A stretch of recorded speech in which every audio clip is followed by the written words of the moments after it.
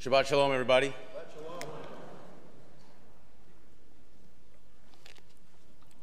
So, as I mentioned um, last night, for those of you that were not here, uh, this is going to be uh, basically part two uh, of three um, opportunities that I take to uh, try to just share some thoughts about the last week. Uh, last evening, uh, if anybody would like to discuss some of the things that I, I, I spoke about, we can talk about it after services. Uh, it was relatively straightforward. Um, I will make allusion to it in some of my remarks today. Part three, which I spoke about last evening, uh, I'm going to, at some point, um, whether it's on a Wednesday afternoon or in an evening, I will conduct a class on uh, weapons in Judaism uh, basically going through the halacha, the Jewish law, uh, emanating from the Talmud, that discusses uh, really all of the issues that you're seeing being debated and talked about on CNN and Fox and MSNBC and everything in between, whether it's the ownership of weapons, the sale of weapons, who should own a weapon, whether or not self defense is viable. Uh, all of it is discussed in the Talmud, um, and I'll be able to share that with you without venturing into the realm of politics. As for this morning, uh, I, I want to begin by telling you that before I, uh, I, I, came to B'nai Aviv, I interviewed uh, really all over the country in order to find a home uh, for, was then? It was just my wife and my oldest daughter and myself. Um, and we ended up interviewing uh, in an incredible community, which will remain nameless, uh, incredible community with a spectacular, spectacular building and a beautiful sanctuary. And I'm being given a tour of this beautiful sanctuary, and the person who's guiding me decides to tell me, uh, as I compliment how beautiful the ark is, decides to tell me, oh, well, there's actually a very funny story about the ark. So, what do you mean? She says, well, they actually made a mistake in constructing this building. Said, what do you mean they made a mistake? She goes, it actually faces west.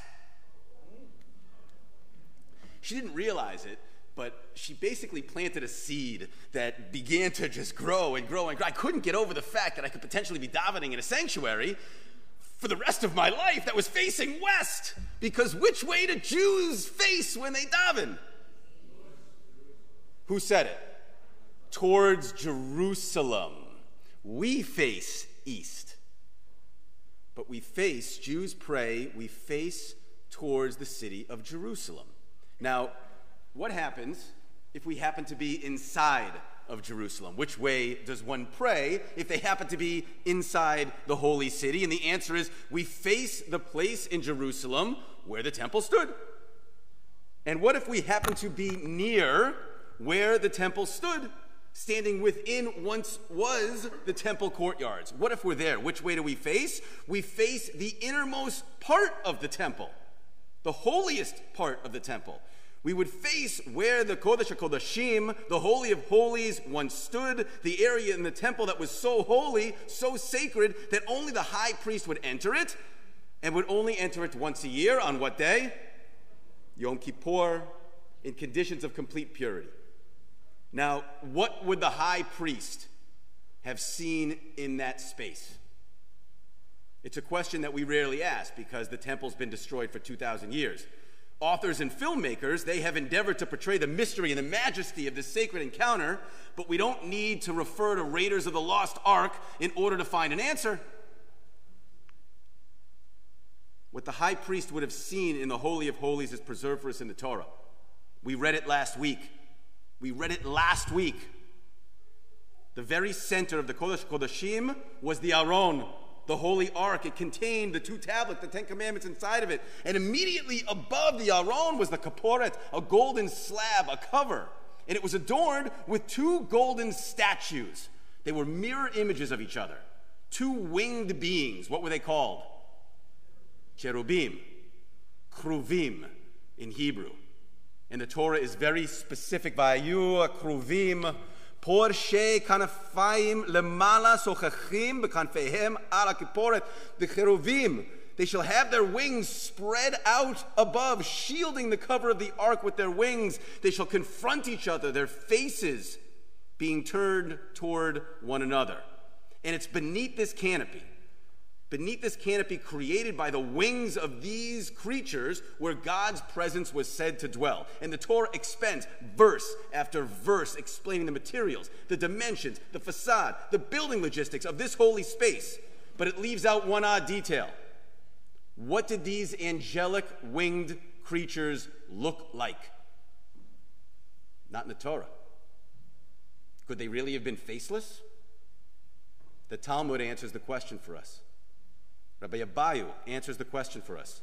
My kruv, Amar Rabbi Abahu, kerivaya, sheken bebavel korin leyinoke, rivaya. It's in Aramaic. The word kruv, he says, it really means kerivaya, like a child. In Babylonia, one refers to a child as a rivaya. Rabbi Abahu is referencing this Masorah, this tradition that we've had since the time of Moses, that the Kruvim did in fact have faces. The faces of children. So when Jews turn and we pray towards the site of the Holy of Holies, we are facing the site of the Ten Commandments. We're facing the place where the presence of God used to dwell. And we are facing a place that was once adorned by the faces of children. Could we expect it to be any other way? Children are our Holy of Holies. Children have always been the Kodesh Kadoshim, the Holy of Holies of the Jewish people. Are not children the ones who are most full of purity, hopefulness, optimism, the potential for making the world more sacred and better? The Holy of Holies was the innermost part of the temple.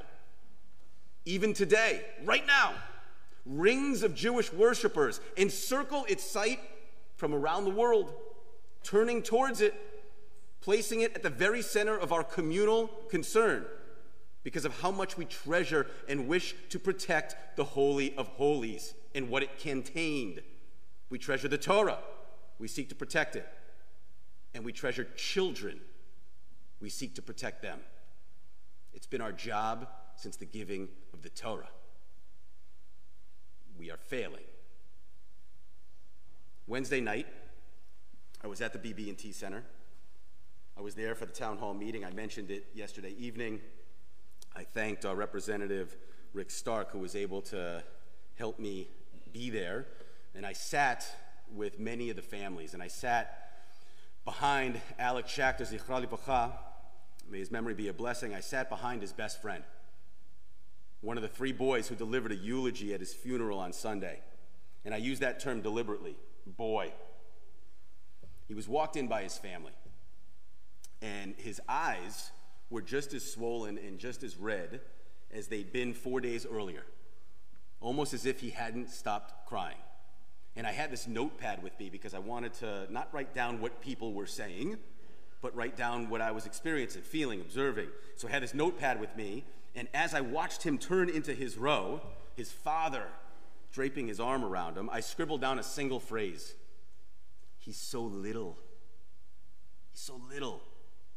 Not short. Wasn't about his size, but he couldn't have been more than 70 pounds. How much do you weigh? You know, how much do you weigh? You don't know?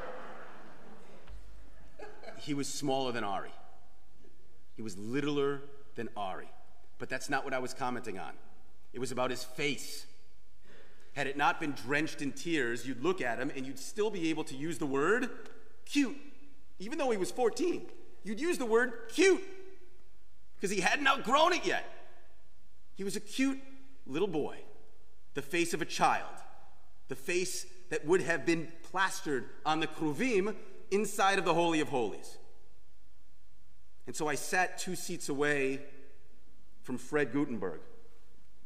You all saw him on television. His daughter was murdered. He didn't sit down once during the four hours I was there. He did not sit down once. And he made that torn black ribbon on his jacket all the more visible. And his jaw was quivering incessantly. It's like someone about to burst into a sob, or someone about to explode into a rage. For four hours, he neither sobbed nor raged. Even during his exchange with Senator Rubio, he was not raging. His jaw continued to quiver, it did not stop.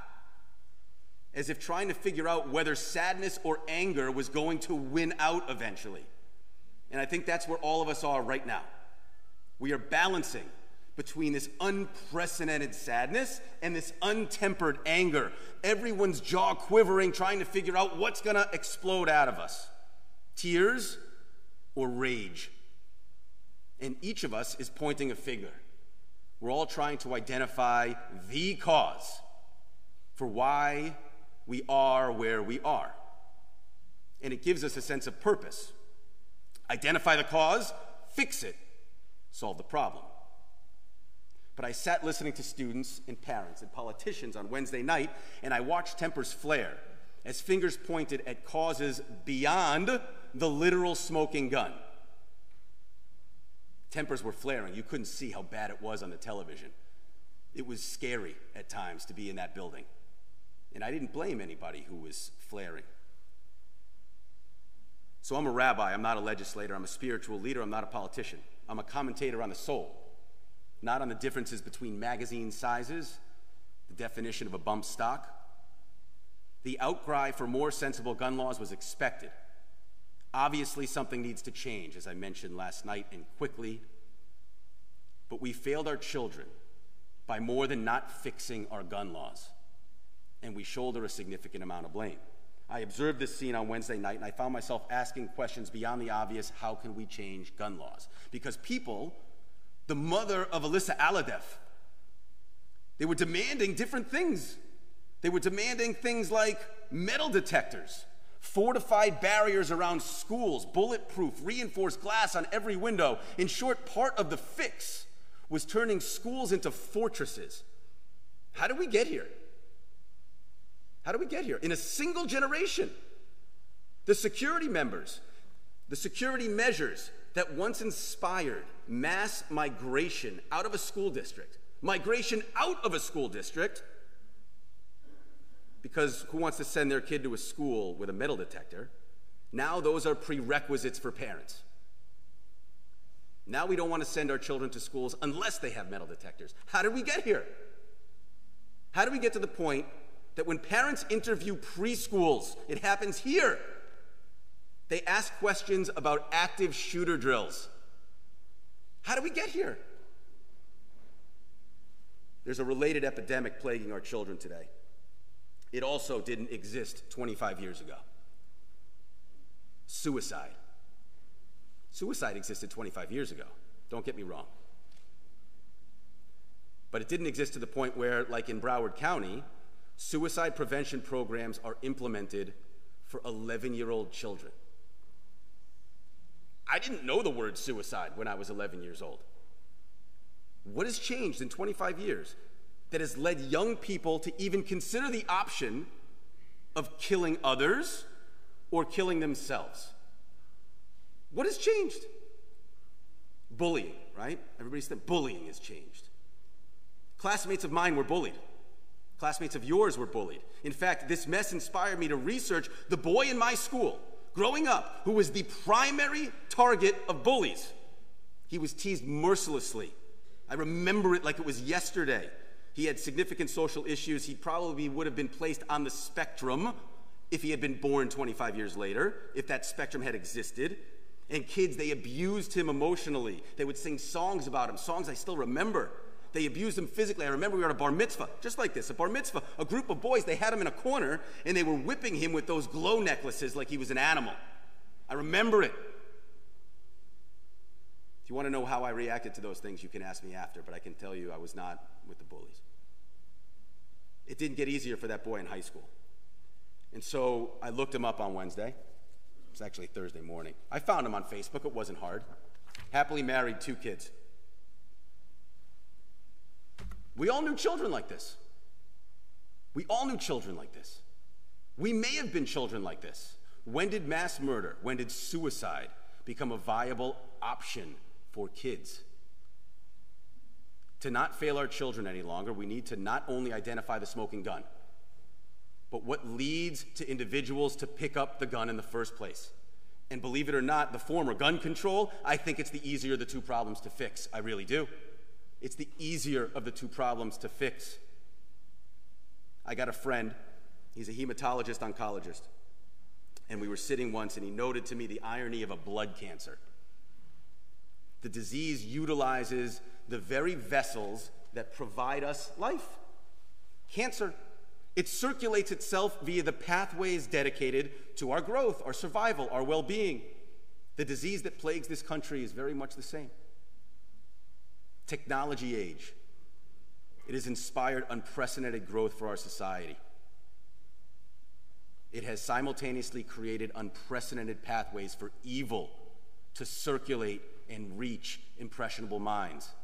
Blood cancers, they go undetected often. It takes a separate system to raise awareness about a larger problem. School shootings, symptom. The fact that there's actually a statistic for suicide for 10 to 14 year old children, symptom. Making us all aware of a catastrophic disease, and we are obligated to wage war against it. Evil exists in the world. You just read it. It is Parashat Zachor. Zachor et asher asalacha Amalek. Remember what Amalek did to you, attacking the weak, the vulnerable Israelites that fell behind during the march from Egypt to Israel. The Torah reminds us that this war with Amalek, it's eternal. It lasts forever. In every generation, we're obligated to blot out the memory of Amalek from under heaven. Lotishkach, do not forget, it says. Our sages all agree. Amalek is not a racial or ethnic designation, it's not a people. The actual Amalekites, they perished during the time of the Bible. But the Torah still commands us in every generation to fight them. Why? Because Amalek, according to us, the Jews, Amalek is the personification of evil, a legacy of hatred and violence that persists even to this day.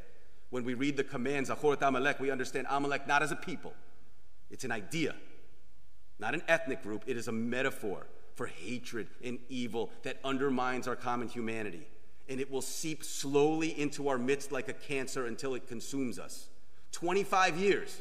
For 25 years, we've slowly allowed Amalek to spread. Same technology that elevated our society to unprecedented heights has provided the pathways for evil to reach and distort our kids' minds.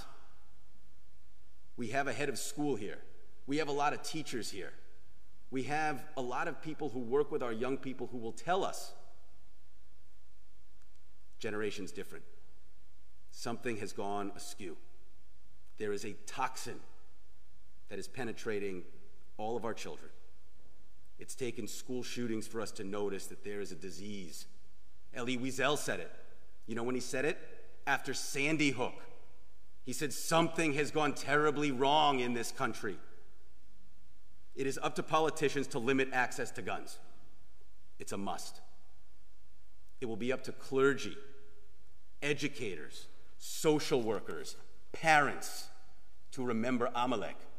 Evil exists. It's contaminating our society to the point where what a generation ago was reprehensible to a parent, metal detectors at a school, is now a prerequisite. We are at war with Amalek.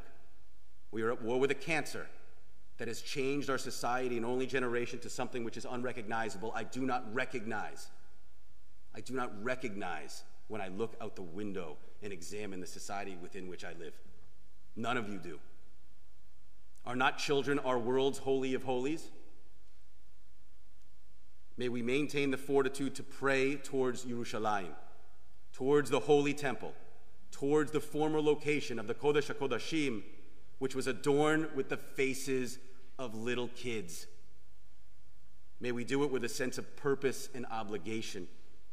May we purify the pathways that have allowed evil and violence to corrupt their worlds, rob them of innocence, and rob them of safety. I wish you all a Shabbat Shalom. I wish you all peace and strength in the coming days and weeks as we try to do a fix, a tikkun for our area. I ask you all please rise as we turn to page 155.